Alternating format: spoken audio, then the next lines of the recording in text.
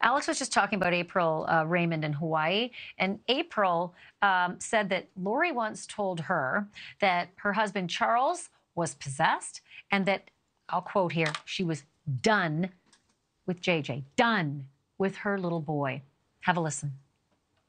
She said that her and Charles were going to be getting divorced, that Charles had had an affair. And then the conversation changed to where Charles wasn't Charles, that Charles was a demon named Ned Snyder.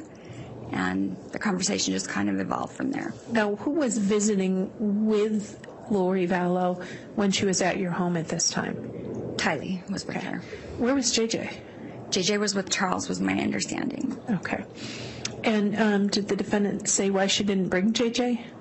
Uh, she said that she was done with JJ and that Charles and his sister Kay would need to figure it out. Done with JJ. That, I mean, done with JJ. That is just a pretty painful thing to hear uh, when you're facing a murder charge about that boy.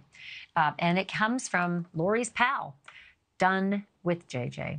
I keep wondering, and I know you guys all do as well, I just keep wondering why didn't you just give the child back to his grandparents? If you didn't want him, why not just give the child to his grandparents? I, it's going to plague me forever. In the meantime, I keep seeing these people like this is April, and we've seen, you know, Melanie, and we've seen Colby, we've seen people so close. And Zulema, there's another one.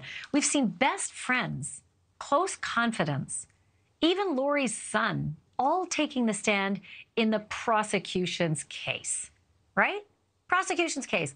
They're all doing their part to send her under the bus. Thank you for watching. Go to newsnationnow.com to find News Nation on your television provider. And don't forget to click the red subscribe button below to get more of News Nation's fact driven, unbiased coverage.